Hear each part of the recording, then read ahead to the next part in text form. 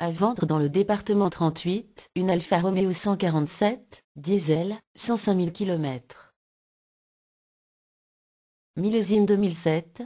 Le prix du véhicule est indiqué sur 321auto.com.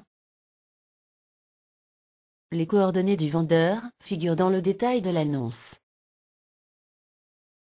Retrouvez cette annonce sur 321auto.com en cliquant sur le lien dans la description.